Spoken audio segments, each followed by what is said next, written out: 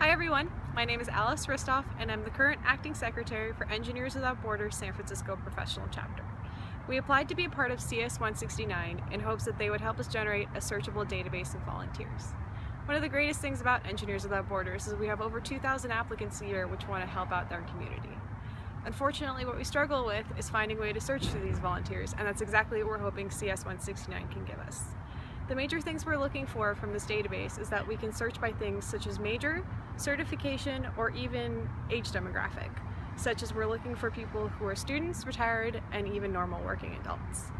We hope this partnership is great and we're really looking forward to working with students of CS169.